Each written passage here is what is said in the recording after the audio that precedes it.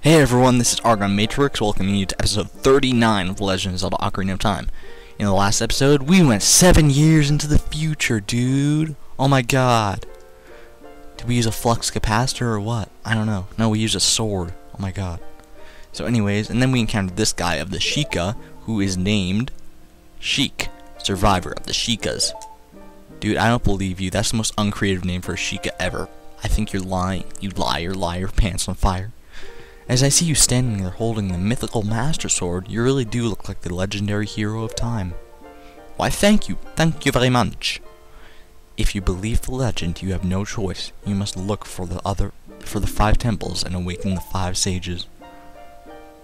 I thought there were six sages because there's Rauru. Well, I guess he's not in a temple. Well, he's in the Temple of Light. One sage is waiting for the time of awakening in the Forest Temple. The sage is a girl, I am sure you know. Is it Malon? Because of the evil power in the temple, she cannot hear the awakening call from the sacred realm. Unfortunately, equipped as you currently are, you cannot even enter the temple. But if you believe what I am saying, you should head to Kakariko Village. What? Do you understand, Argon? No. Why am I going to Kakariko Village? Hey, I can control myself. Oh my god, I'm big. I can still use my ocarina, and no, oh wait, maybe I just can't use the Deku Nuts inside the Temple of Time. That's probably it. But yeah. So, seven years, man. Ooh, I sound, I have a deep voice now. Awesome. Oh my god. Dude, dude. What? Huh? Dude. Look, the gossip stones are still here. Oh my god, but I can't talk to them because you can't wear that mask seven years in the future. What's happened to... Oh my... Oh, shit. Dude, it's a redead. It's a redead. Kill it, kill it, kill it, kill it, kill, kill, kill. Must kill, must kill. Oh my god. Oh my god, it's raping me. It's raping my face. Raping my face. Ha. Dude, how how could this happen in just seven years? What did Ganon do? Is Hyrule Castle okay? Ooh, oh my god. Oh my god, it's lob. What, what, what the hell is this? That's not Hyrule Castle. That's some big black piece of shit. Could have been taken very wrong and sounded very racist, but whatever. Ganon's Castle. What? That's bull. My god, skeleton. Scary. I don't suppose we can get up there, can we? Please? Please? Not worth the risk not worth the risk. Maybe someday. Maybe in a future episode. More on that later. oh man, I need a drink. Dude, this isn't the market. You can't even call this the market. This is like Redead Central right here. It's a freaking graveyard. So anyways, um...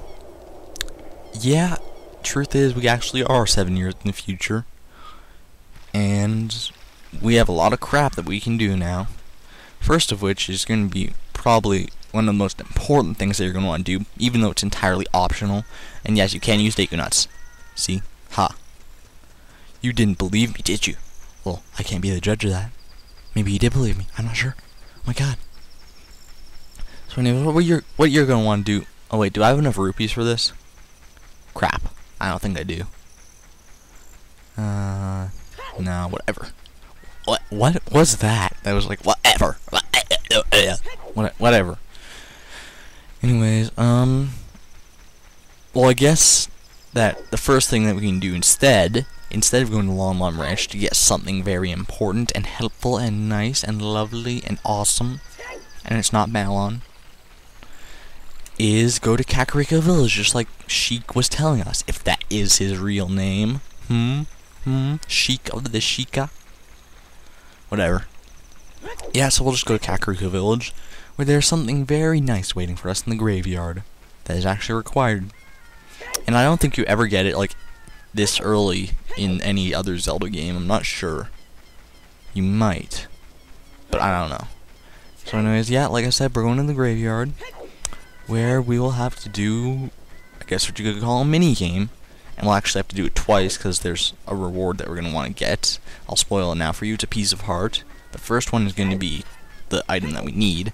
The second one is going to be the item that we want, a piece of heart. So anyways, to get to this mini game, you're going to want to head over here, And you may not recognize it, but th this grave was not here seven years ago.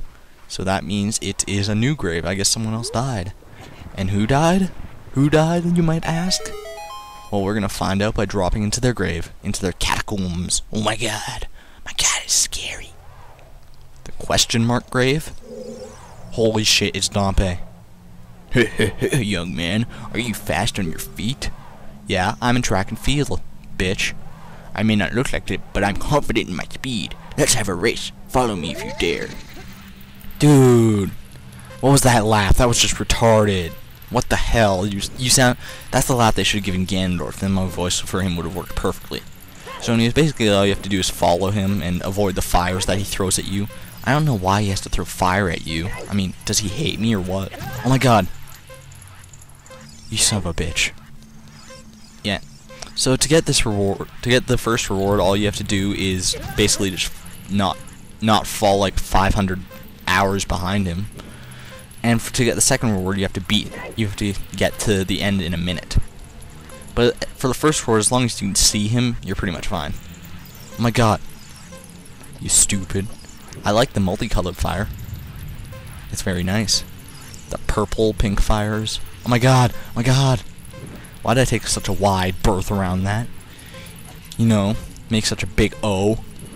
Big O. Big round and perfect or obtuse O. Yeah. Okay. And we just head around this room in this big O shape, you know. And then we made it. Not too hard at all. And once we get here, we can talk to him, and he's like, the time of this race was 111. Nice. Heh heh heh, young man, you are very quick to be able to keep up with me. Heh heh heh. As a reward, I'm going to give you my treasure. It's called the hook shot. Wait, well, way to spoil for me, dude. That's not fun. A spring-loaded chain will pull you to any spot where its hook sticks. Doesn't that sound cool? I'm sure it will help you. If you, um, there's a little thing that I didn't show. It's kind of an Easter egg. But if, while I was a kid, um, yeah, if you went into Dampé's like grave shed thing when you could, which was only like certain times, um, you could read his diary in there, and it would tell you about the hook shot. It wouldn't specifically name it, but it would be like, I have such an awesome thing. It goes boing boing like Mr. Saturn. And yes, we found the hook shot. What a cool invention. Yeah. Come on. I know how to work this. I can explain it. Okay. Yeah, so the hook shot's pretty cool. Um, we're gonna actually set that right now. Even though we don't need to use it right now. Oh my god, there's a big ass block in the way. What do we do about this, dude? Well, actually, you want to play the Song of Time. Are we going to warp like seven more years into the future? No, it's just going to get rid of the blocks that are blocking our way. Blocks blocking our way? That's inconceivable. It's implausible. It's absolutely redonkulous.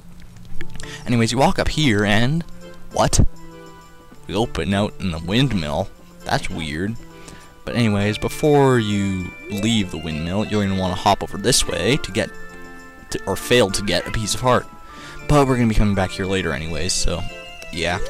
What do you say? Oh my god, you're angry. Grrr. I'll never forget what happened on that day seven years ago. Grrr. Dude, seven years ago? I was a kid back then. I knew you. I knew you once. Ocarina Kid's fault? Hey, dude, I have an ocarina. Want to see? What? You've got an ocarina? What the hell? I mean, what the heck? That reminds me of that time seven years ago. Back then, a mean kid came and played a strange song. It messed up this windmill. I'll never forget this song. Really? It seems like an easy song to forget. Anyways, this is not a required song by any means, but it's kind of helpful in certain areas. The Song of Storms. Basically, it makes it rain. That's all it really does. Yeah, uh, I have a little bit of time left in this episode. I don't know what we can do in that time, but whatever. Oh, I know, I know like one thing we can do. It actually involves the hook shot. And for some reason the rain makes this thing go like super hyper fast or something, so whatever. Let's just leave the windmill. Back into Kakariko Village, Kakariko Village.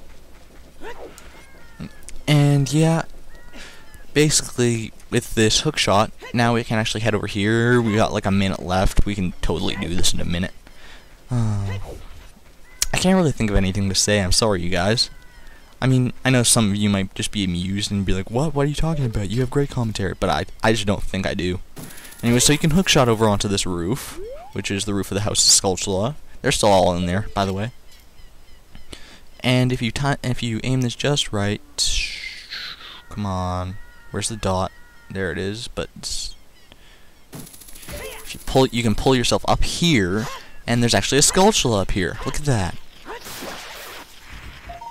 And look at that, we can one-shot it with the master with the master sword now. Oh crap. And we and we don't have to wait for an item like the boomerang to get this because we can just use the hook shot. So anyways, that's all for this episode, you guys. Thank you all for watching. In the next episode, we'll do something else. This is Argon Matrix, signing out. Thank you, and good night.